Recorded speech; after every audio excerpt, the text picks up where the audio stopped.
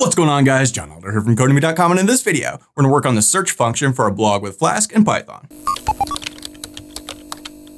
All right guys, like I said, in this video, we're gonna add the search function so we can search for blog posts. But before we get started, if you like this video and want to see more like it, be sure to smash the like button below, subscribe to the channel, give me a thumbs up for the YouTube algorithm, and check out Codemy.com where I have dozens of courses with hundreds of videos that teach you to code. Use coupon code YouTube1 to get $30 off memberships, all my courses, videos, and books for one-time fee at just $49, which is insanely cheap. Okay, like I said, in this video, we're gonna work on this search bar, and this is gonna introduce all kinds of weird problems that we probably never even thought of. The main problem being, this is in our nav bar, which is in our extended base.html. So there is no actual view for the base file. So how do we pass variables in? How do we get a CSRF token? How do we pass the form in? All those things.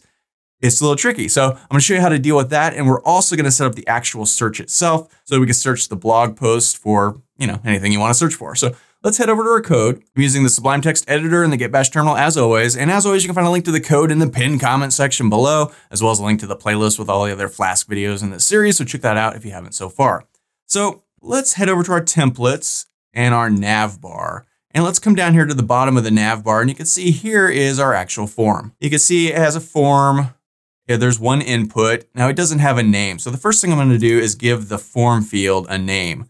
And let's call this searched. So this will then pass through the form so we'll be able to know what they actually searched for. And then up here, we need several things here. First, this needs to be a method equals post. You know, when we make a search, we're posting a form to the backend, so we need a method post. We also need an action. We need to point this somewhere. Where is it? Where are we going to point this? Well, let's do a URL for tag as we normally would. And let's send this to something called search, a page called search, a, a backend thing called search. So we need to actually create search. So we'll do that in just a second. Now we also need a CSRF token for this page. CSRF token is a cross-site request forgery token. It protects your forms from getting hijacked by hackers. We've done this all the time in the past with other forms. We know all about it. So we just need a form dot hidden underscore tag, and that's a function. Now this is going to introduce a problem because this form is nowhere on this page. And we can't really pass it to this page because this is the nav bar. And if we head over to our base.html file, we remember we included the nav bar. So in any page of our website, for instance, the home page, we're calling our base.html file with this extends tag, right? So how do we pass variables and stuff into there? So we're gonna look at that in just a second. But for now, let's head back over to our nav bar and we've created now this search thing. We need to build that out in our view. So let's head over to hello.py, our main file, and let's just come down here and let's uh, create search function. And this is going to be at app.route. We need a route. And so let's call this search. And we need methods equal to, and for now, let's just put post because we don't actually want to create a page that people can go to unless they've posted to it. Unless they've searched for something, then a page will pop up and it'll go there. So we want methods equal post. And we've done methods in other you know, routes and things. So, okay, let's create this guy. So, def, so let's define search and we're good to go here. Just pass for now. So whenever somebody searches, we want to output the results on some page. So we need to create that page. So let's head over to templates, create new file, come up here and go file, save as, and let's save this as search.html.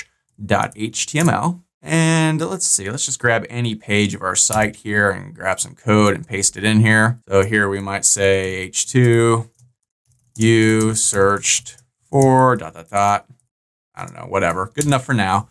So now this file exists. We'll play around with this in a little bit. Let's head back over here. So the first thing we need is a form, right? Now we could do this without creating a form and we could just sort of pass the data. I think we did that way back at the beginning of the course with our user name page, but we want to use a CSRF token because we're going to be posting to the database itself. So let's come down here to our webforms.py file and let's just create a new form. Create a search form. So I'm just going to copy this thing and paste it in. Instead of login form, let's call this search form. And instead of username, this is going to be searched because remember in our nav bar, we called this input field searched, right?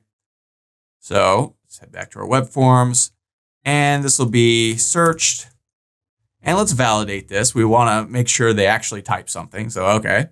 Uh, now we don't need this password field, but we do need a submit button. So we'll leave that. Okay, so that looks good. So this search form now, we save this file. We can use this in our hello.py file. We have to import it first. So let's head back up to the top here and let's find our web forms. There it is. From web forms, we want to import that search form. You can see these are all the other forms we've imported, right? All right. So now let's come down here and set this up. So our form is going to equal that search form. Okay. So now let's go if form dot validate on submit. There we go. So if somebody submitted the form, we want to validate it. And let's create a variable called post.searched. And that's going to equal our form.searched.data. And for now, let's just return the render underscore template of that search.html file. And let's just pass in form equals form. And if we want to, we could pass in this thing too, just for fun. So let's go ahead and do that. Why not? So let's go searched equals post.searched. So now we should be able to use this searched on our search page. So we could say you search for, and then maybe down here, H3, or maybe just a P tag, we can call searched, right?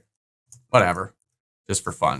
Let's go ahead and try that. So we're not actually calling the database yet, but we could see at least if our form is working and passing something in. Now, if we save this and head back over to the website, hit reload, we're gonna get an error. So it's saying, hey, form is undefined because up there on our nav bar, remember, we're passing this form.hidden tag and our website has no idea what that is because this nav bar doesn't have anything in our hello.py file where it's sending this form. We're sending this form to the search page, but not to the nav bar page. So how do we pass anything to an extended base file, to a nav bar, to anything like that? How can we do that? Well, it's actually pretty easy. We could just come up here and say pass stuff to navbar. And to do that, we call an app dot context underscore processor. So this context processor will pass stuff into, you know, our base file basically. So I'm going to define this as base because we're sort of passing this to our base.html file. You could call it anything you want. It doesn't matter at all. So let's call it define base. And what we want to do is create a variable form, right? And that's going to equal our search form. So we can copy this from down here, paste that in. And now we need to pass that to the page. How do we do that? We just go return dict, short for dictionary, and we want to pass form equals form. So now this search form can get passed into our base.html file, which then sort of passes it to our navbar because the base.html file includes the navbar, right? So let's go ahead and save this, head back over here, hit reload. Hopefully this works. Boom. Now it does work. If we view our page source now and come down to the navbar, you can see there's a CSRF token all the gobbledygook is on our form. So that looks good. So let's test this out. Let's say uh, John Elder. I want to search for John Elder. It says you searched for John Elder. All right, so the form is working. We're able to pass stuff to the back end, do something with it, send it to the page and put it up on the screen. So, so far so good. Now we just need to query the database and run a quick search for whatever we searched for. Now, here's where we need to make a decision. Do we want to search this text of the blog post do we want to search the title of the blog post? Do we want to search for authors? What do we want to search for? To me, it sort of makes sense that I want to search for the content, you know, the, the text of the blog post. I want, I'm looking for some specific thing in a blog post, so I want to search for the stuff in the blog post. I don't really care about the title so much. I want, I want to search all this content. So that's what we're going to do. So let's head back over to our search thing here. And let's query the database. And I'm going to query, I'm going to call it posts. So we're looking for posts, right? And this is just going to be posts.query for now. And remember, if we go down to the bottom of our page here, to all of our models, here we have our posts model. And in our post model, there's title, content, date posted, slug, poster ID, regular ID. We want to search for content, right? So will copy this, head back over here. And inside of here, let's go ahead and query the database. Here, let's get data from submitted form. So to query the database, there's probably tons of different ways you could do this, but just not thinking very much on it, I thought, well, this will work. So we'll try this first. Let's go posts. equals, now this is going to be posts.filter. So remember, this is our query, posts. We want to filter by posts.content. Remember down here in our model, remember the content, that's the, you know, the content of the blog post, right? So we want to search for, we want to filter by that content, post.content. And we, we want it to be not exact matches. We want to search for things that are sort of matches, right? It doesn't have to be the exact phrase, right? If I want to search for cheese and there's a blog post where it says, I like cheese, that's going to be good enough, right? It, it, needs to be like what we're searching for. Now, this will be a function. And here we just need to pass in this thing, right? So inside of here, I'm going to call, we can add these sort of uh, concatenation type things. So we could say, search for this and post.search. And so this will allow us to search for multiple things, basically, right? So, okay, that looks good. Now, how do we want to return these results? Right, so let's go posts equal posts dot order by. And here we want to order these by posts dot title. And then we want to return all of them. Okay, so now we've got this post variable. Hopefully it holds a bunch of different posts that we've found in our little filtered search here. Now we just need to pass that to our web page. So let's go posts equal posts.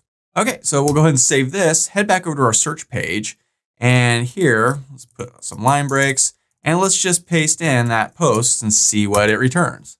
It's not gonna return anything interesting, but that's where we'll start from. So I'm gonna put, I'm gonna search for test because we can see here it says test, this is says tests, this one does not. So there's at least two posts with the word test in it. So let's search for test. And here it says, uh, here we have an object with looks like two posts. So, okay, that looks good. But we don't want this. We want the actual post, right? So we saw that this is returning an object with multiple things. So we're going to need to loop through here with a for loop. So let's go for post in posts. And I always like to just end my for loop before I do anything else so that I don't forget. Now inside of here, we could just pass post dot title, right? And there's going to be multiple ones. So let's put line breaks in there. So this post is this thing right here. As we loop through each post in our posts, will get spit out on the screen. And we want the dot title because remember in our model way down here, title is one of the things in the model. So we could output the title. We could output anything you want. We could do the title, the content, the date posted, the slug, the poster ID, anything we want, but I just want the title. That should work. So let's head back over here and search for test again. And here you search for test. Maybe we want that, maybe we don't. Uh, we can play around with that. And here we see John Elder's post and Tim's post. Very cool. Now, this isn't all that useful because, well, we can't really click on these. So we probably want to be able to click on these, right? So let's head back over here. And very quickly we can do that. Head back over to our search page. And let's just create a link, href, and close our link tag. And we could just go to our post page. There it is. And we can see on that post page, we can click on the titles. So we already know how to do that. We'll just copy this, head back over here, paste that in, put this on a different line so it's easier to read, whatever, something like that. And this is just calling a URL for tag for our post with the post ID because we have a post right here. We know from our model, remember, there's an ID, so we can call it, and that should work. Okay, so let's save this, head back over here, hit reload, resend, and now these are links. If we click on one, boom, it goes to the post. Very cool, very easy. Now, obviously we might want to make this look nicer and we'll probably do that in another video. This one's getting a little bit long, but uh, this is what we want. So we can come back here and let's search for cheese. I like cheese. And there's a post called I like cheese. We can click on it. There it is. If we go to our post, we see down here, yep, there's I like cheese, right? And it works. So very interesting video. I really like the posting the stuff to the nav bar. That's something you don't see every day. Uh, that trips up people a lot, but very easy. We just use that app context processor thing, piece of cake. We can pass anything we want. And uh, that's all there is to it. So that's all for this video. If you liked it, be sure to smash the like button below, subscribe to the channel, give me a thumbs up for the YouTube algorithm, and check out Codemy.com where you can use coupon code YouTube1 to get $30 off membership. So pay just $49 to access all my courses, over 47 courses, hundreds of videos, and the PDFs of all my best-selling coding books. Join over 150,000 students learning to code just like you. My name is John Elder from Codemy.com, and I'll see you in the next video.